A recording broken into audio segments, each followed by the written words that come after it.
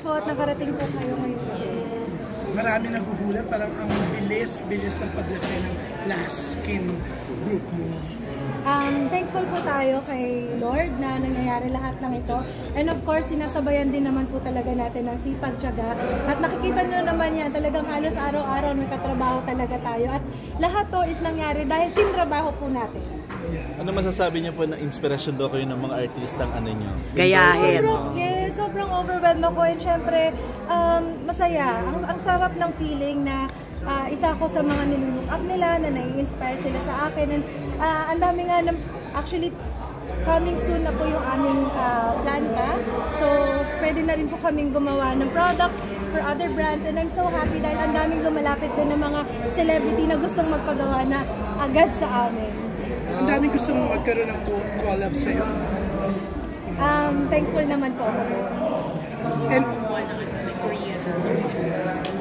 Um, siguro po, baka da- dadating din tayo dyan sa point na yan. But for now, syempre, let's help muna yung ano natin, no, support muna natin yung mga Filipino uh, artists po natin and also our own influencers here in the Philippines. For the record po, ilan lahat ng endorsers? Hindi ko po kasi binibilang talaga.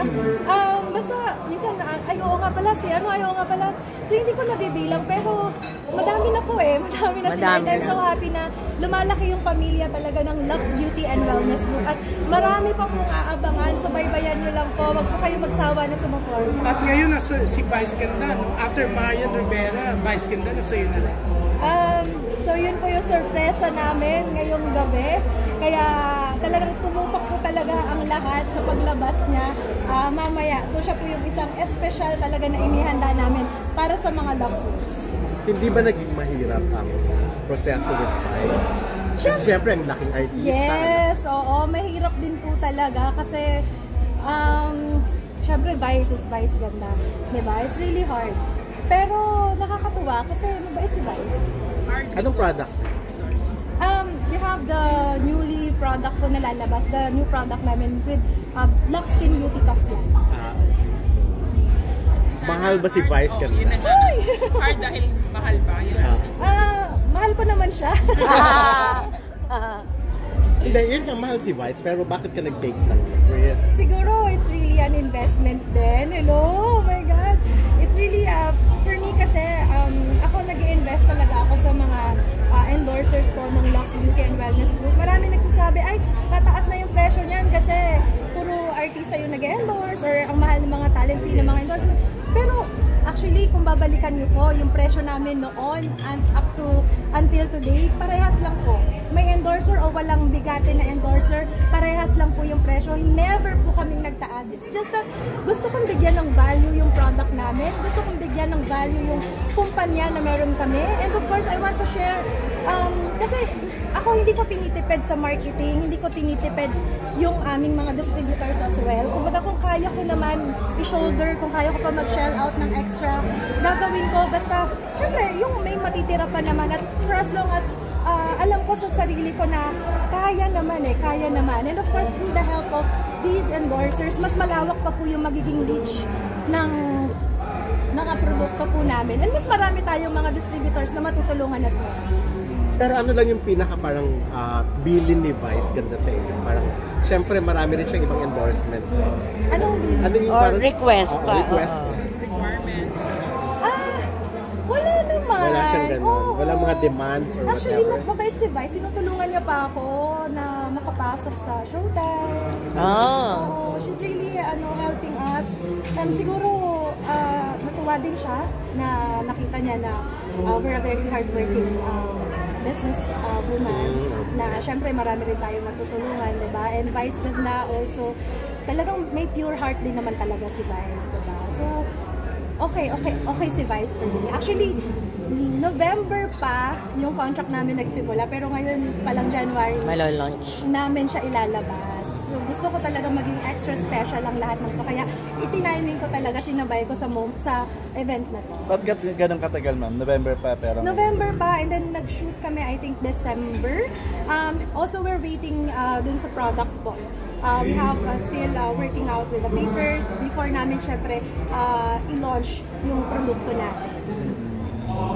Anong mga goals natin this year? Madami, sobrang dami po. Kahit ako, parang na-overwhelmed din ako. Hindi ko ano, ano masisimulan natin kasi ang daming products na naka-line up. Also, yan yung planta natin, the manufacturing plant, uh, Lux Mix, and also parating na din po ang ating uh, Philax Pharmaceutical. So, ayan naman, isa sa mga pangarap din po natin yan kasi sabi ko nga, nagsimula po ako bilang medrep before. So, isa po ako sa mga umiikot, sa mga doctors, nagko-cover sa kanila. And now, ayan na, um, siguro I also want to give back. Um, So magiging parang medical na. Yes, opo. May mga products din po tayo nalalabas na ah, sa medical ano naman po, medical field naman po. Hindi lang wellness. Yes, hindi lang wellness, but again, Lux Beauty and Wellness Group. So, yung goal po talaga natin is hindi lang pampaganda, hindi lang pampa-beauty, hindi lang pampakinis, but yung overall talaga po natin, wellness talaga. Mas marami pa nga abangang celebrity this year. This year, um, after Vice kasi ah, wala pang naka, ano, naka-line up. Pero may mga ibang inaay tayo na sinusundan. But siguro, um, for me, parang ang plan is i ano ko muna sila. Kasi nagsunod-sunod tayo last year talaga eh. Dire-diretso yung paglabas, di ba? So siguro, mas i-utilize mo na, par- parang mas, ah, mas, paano, paano ko ba i-explain yun? Parang magpo-focus muna ako sa kanila. At dahil dyan, eto yung Yes, Miss Dimples Romana is I'm so happy that Miss Dimples ka naman. So beautiful. Hello everybody. Hello. Yan talagang part ka na ng, ng event nila. Uh, official. Super official. Yes. no? So excited you are do sa first event mo with Black I'm Slim. so excited. You know, this Thanksgiving is really not just a testament good her heart is, but really how bus- the business has been growing very, very well under her, of course, uh, leadership. And and it's so nice to see everybody, lahat ng mga kapatid ko sa Lock Skin tonight kasi first time ko silang mamimit. Lagi lang kami nagkakaroon ng Instagram ng mga messages, but today we get to meet each other and I'm super, super excited. How excited that. you are mamimit mo rin si Vice, ang bagong kapamilya. I know! Di Si? Vice ay ninang ni Ilio. Yes! Excited for tonight and so excited for Vice, for Mimi also to be part of Luxkin. Saktong-sakto talaga. Um, ini-embody niya yung power na meron yung negosyo when it comes to Luxkin, of course.